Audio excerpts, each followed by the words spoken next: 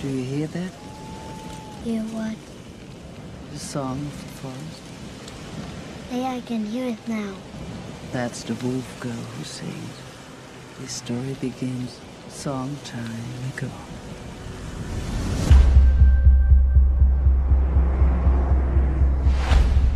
For months they made their way across the country.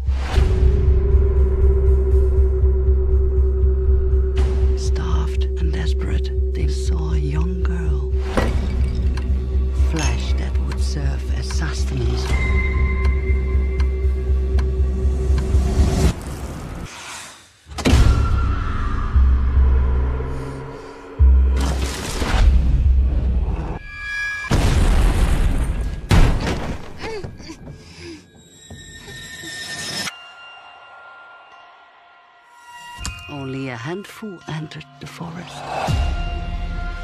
Giant wolves ran wild. yes!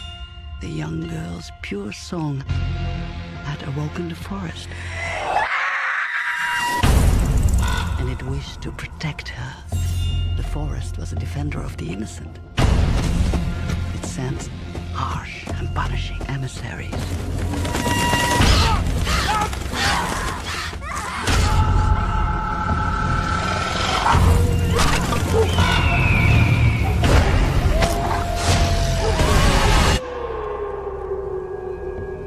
Company of wolves is better than that of man.